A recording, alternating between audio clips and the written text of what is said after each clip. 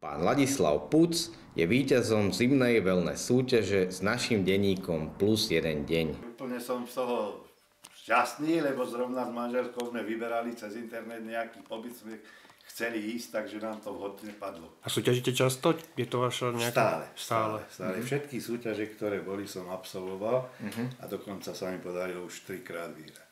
Vyhrať, hej. Mm-hmm. Super. Prvé boli tie začiatky, to boli ešte nejaké peňažné výhry. Mm-hmm tam to bolo 4000 korún. Uh-huh. Potom som vyhral 100 eurový poukaz v jednote uh-huh. a teraz to. Takže do 3000 všetko dobré. Hej, super. Takže máte šťastie na asi, takéto. Asi áno.